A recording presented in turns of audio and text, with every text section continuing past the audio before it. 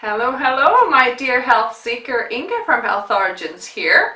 So today, as I've got so much cabbage from our veg bag we're getting, I'm making cabbage stew. So let's begin.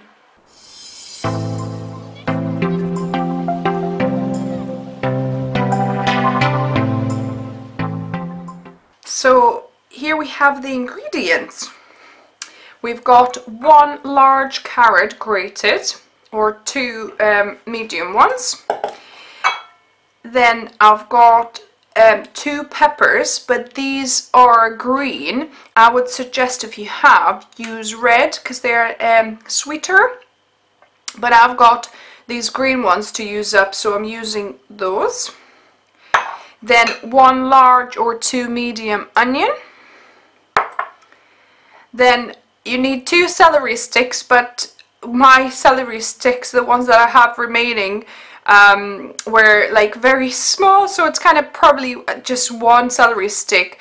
Um, so yeah, so you probably want a little bit more celery than this, but um, you know, beauty of cooking is that you can kind of um, you don't have to be so exact with your ingredients. With baking, you really have to have exact, whereas with cooking, you can get away with less or more.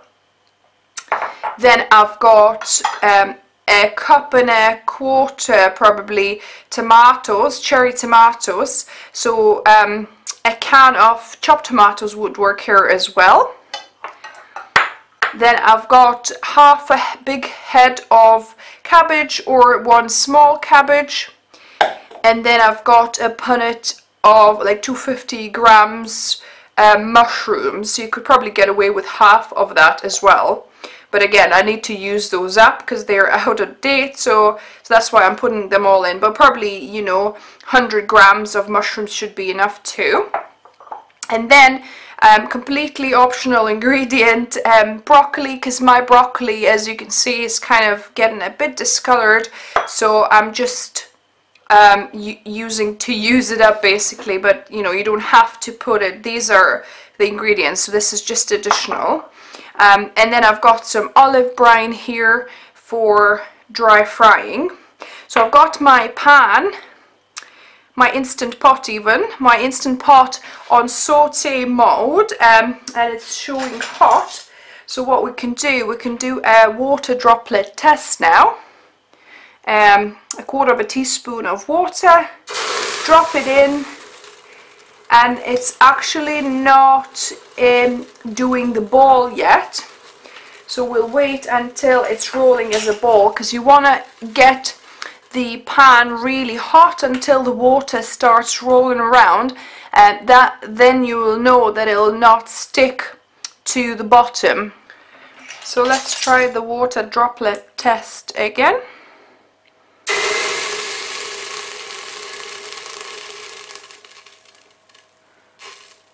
yeah it's it's rolling a little bit more now. Maybe another minute. Basically um, you want to be careful also to not not to overheat it as well because um, if it's over hot then it kind of evaporates straight away. So I think actually I'll just I'll get on with it. So I'm adding onion first. So adding my onion, pepper, and celery.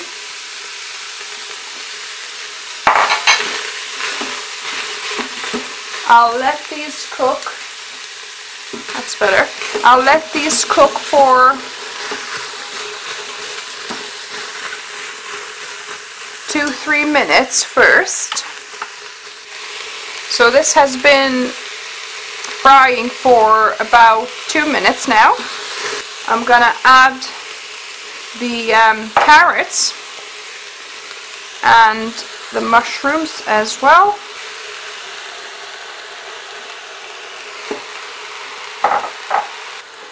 So I mixed it up now and I'm gonna leave it uh, fry for another two three minutes it's no longer sticking to the bottom now because the mushrooms have released their juices.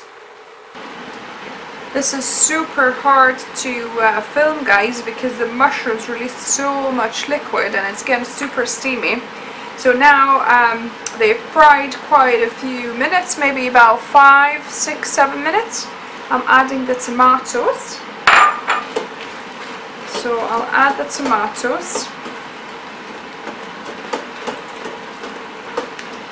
And also, I forgot to mention, did I say ketchup? Yeah, so we've got some ketchup, so I'll uh, squirt a little bit of that now as well. So I would say probably a, a one fourth of a cup, quarter of a cup.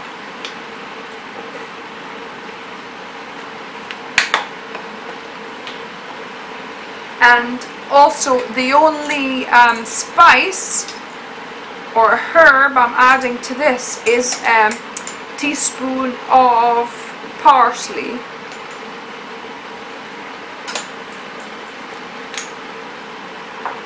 Keeping it simple. If you have some fresh parsley so then you can add fresh parsley too. I've, I have dried and let that um, fry now for another five minutes or so for the tomatoes to soften. So now the um, tomatoes have softened. I'm gonna add cabbage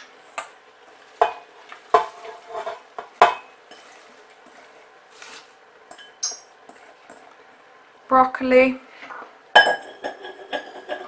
like I said broccoli is completely optional. I'm just adding because I need to use it up. And then two cups of vegetable stock as well.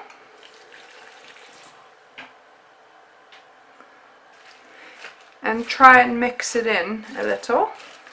I mixed it in as best as I could.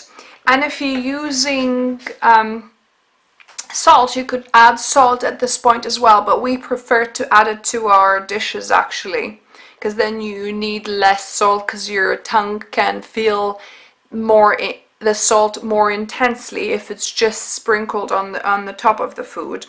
So that's it. So what we need to do now we need to put this to to close the vent to close the vent here and to put it on for 10 minutes on pressure cook.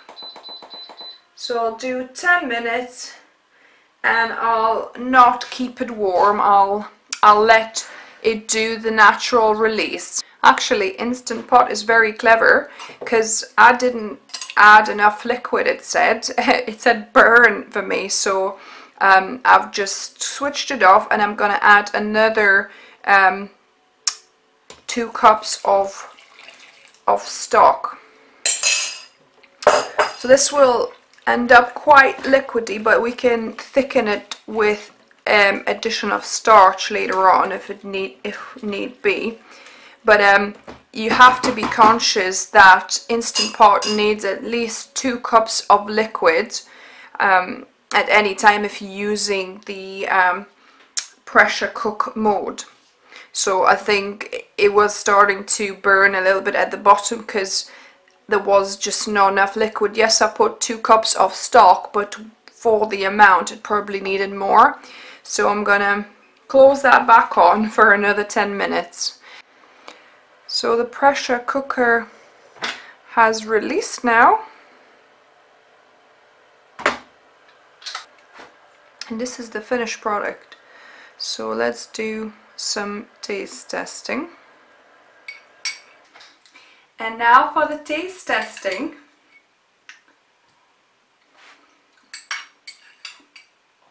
Mmm. Yummy. It's like sour sweet. The sweetness from the carrots and then the sourness from the tomatoes. You can really taste it. And this is actually with no salt. Well, when I say no salt, it had stock in it, so obviously stock has its own um, salt, but I didn't add any additional. So yeah, it is delicious. Mm. And you can have this on steamed or roasted potatoes, on rice, quinoa, buckwheat, any kind of grain in fact, and even on pasta it would work. So let me know if you try this and what did you think of it.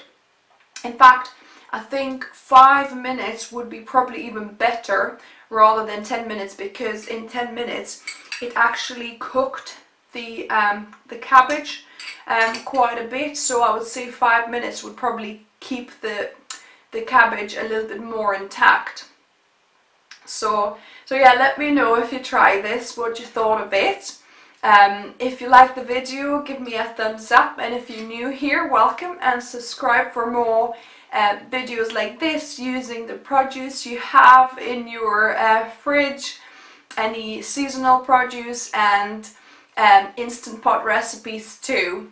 And remember, food is fuel. So be mindful what you put in your body. Until next time.